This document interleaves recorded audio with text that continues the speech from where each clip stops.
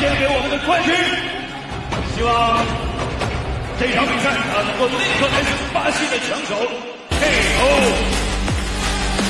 Fighting out of the back corner，张永康，22 year old。He's 180 centimeters tall, weighing in at 75 kilos.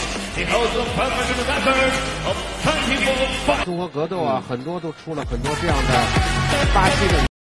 大家好，老师从业中医男科三十余年，帮助了数千名海内外华人朋友通过中药调理重回男性雄风。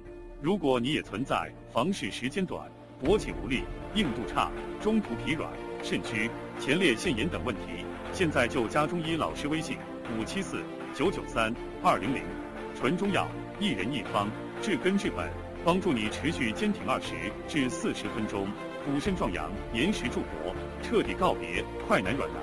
记住微信五七四九九三二零零。啊，担任本场比赛的场上执法是高峰老师。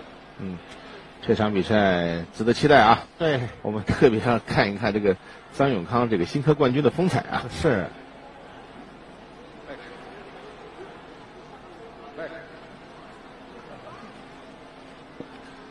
那张永康的身高呢，也是达到一米八零啊。嗯。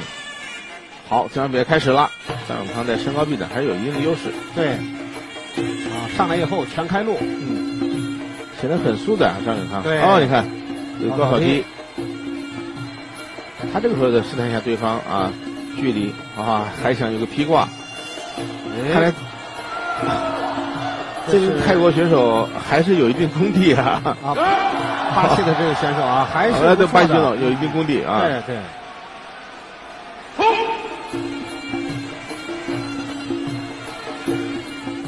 迪亚哥古拉特，啊，在换拳上面这块还是有的是进行缠斗。你看啊，缠斗，哎呦，这个，你看张永芳这个出走出的非常的非常快，非常快啊，突然性很强。对。抱缠以后呢，两次袭击呢，接接着就是砸肘啊，非常快转换的。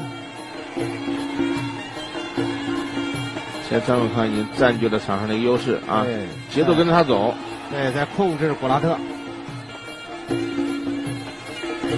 你看，后手拳，后手的直拳。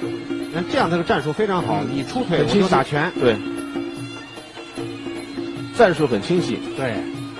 而且基本上把对方的呃这个出的招啊都能够预判到。对。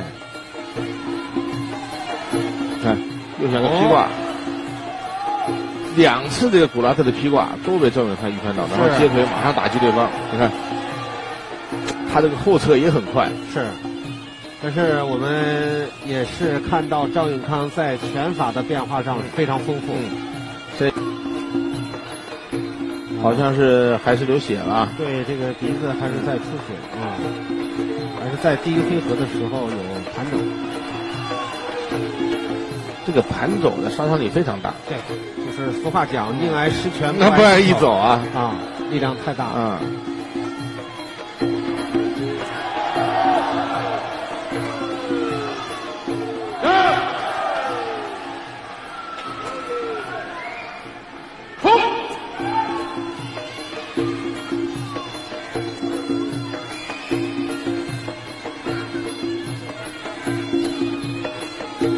贴身，啊，这个就像一个拍，也是一个走机啊。对库拉德这是打到现在我看的第一次，第一次啊。哎，哇，高扫上头了，哇，化为落音呐，高扫上头了，应该是起不来了。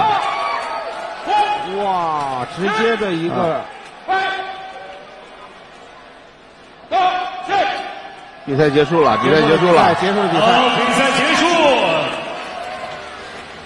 张永康啊，果然是张永康还是充分展示了自己的中国习武之全面的技术，果然是世界冠军了。我们看一下最后，巴西的强最后的高扫上头，手成拳，非常的干净利落，这是后手的直拳，直拳。看到现在场边的医务人员，医务监督正在给来巴西的选手迪亚哥来做一些简单的治疗，这是。